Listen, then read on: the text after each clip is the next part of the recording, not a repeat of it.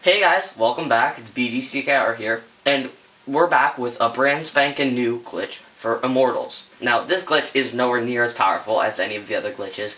It's a really easy and simple way to skip having to watch a video for the free recharges.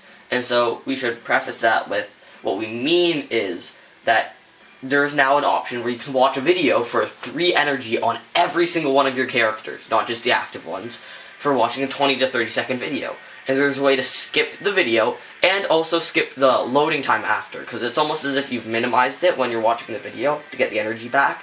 So you have to watch the video and wait for the recharge time, and it's a little bit annoying. Or so the reload is, time. The reload time. So this is a way to skip both of those things. So if you go to recharge, you have to have an internet connection or the free recharge button will not light up, and that's part of the key to this.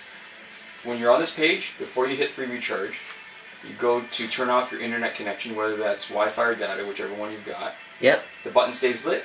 You hit free recharge, and, And then- the X will appear, top right corner, and you hit it. So if you don't hit the X, sometimes nothing will happen, and sometimes it'll still make you wait through the loading screen.